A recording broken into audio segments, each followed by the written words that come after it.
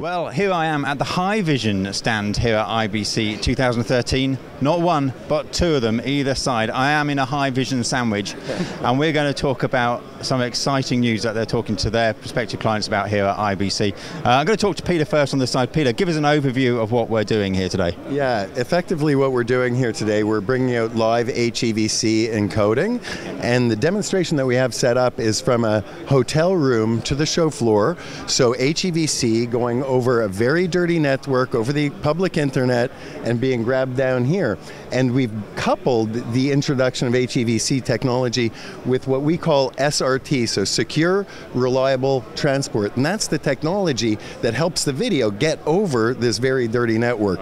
So we're doing live HEVC encoding end to end with transport taken care of here at IBC. I think it's a pretty revolutionary uh, demonstration. Yeah, I mean, we've been watching it, Marc, here, and uh, I mean, on the camera, people say, oh, it's, it's a video playing, but this, as you say, is in a, a hotel network yeah. over the internet. You haven't got a, a, piece of cable thrown over there. Nope.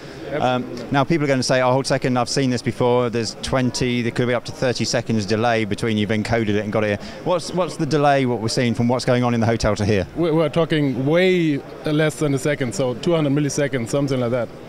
So you're getting 200 milliseconds of latency effectively between what's going on there to here.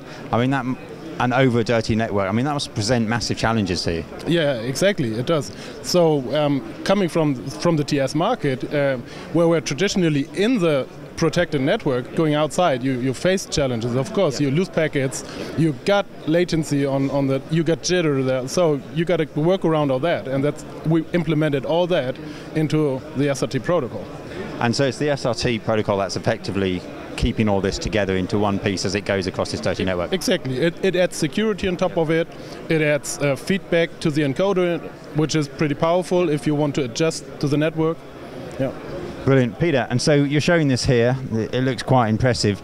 Um, it's it's really great. We're I think our stream characteristics is about 1.5 meg that we're using yeah. here, yeah. right? So we're really holding it together over a very very dirty network situation. And HEVC gives us, of course, a much better picture quality for every bit that you can get out of the network. So combined, these technologies are hugely yeah. powerful. So, Peter, if people want to find out more, get their hands on this, uh, and, and talk to you about implementing this system themselves, is there a website they can go to? Yes, of course. Haivision.com, H A I vision.com.